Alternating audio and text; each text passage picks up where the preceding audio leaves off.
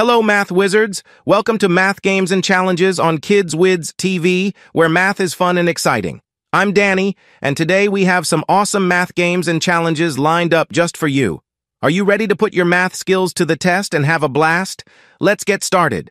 Our first Hello. game is called Number Knockout. Here's how it works. I'm going to give you a series of math problems.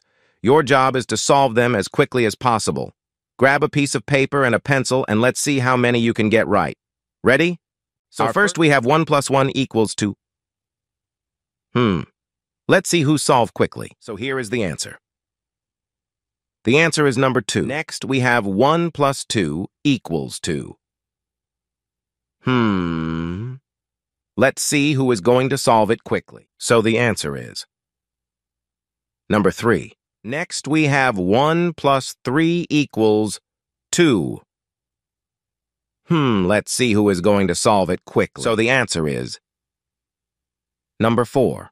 Next we have 1 plus 4 equals 2. Hmm, let's see who is going to solve it quickly. So the answer is number 5. Next we have 1 plus 5 equals 2. Hmm, let's see who is going to solve it quickly. So the answer is number 6. Thank you for joining us today on Math Games and Challenges.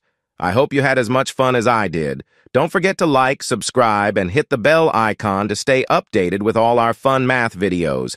Keep practicing, keep having fun, and we'll see you next time on Kids Widz TV. Bye for now.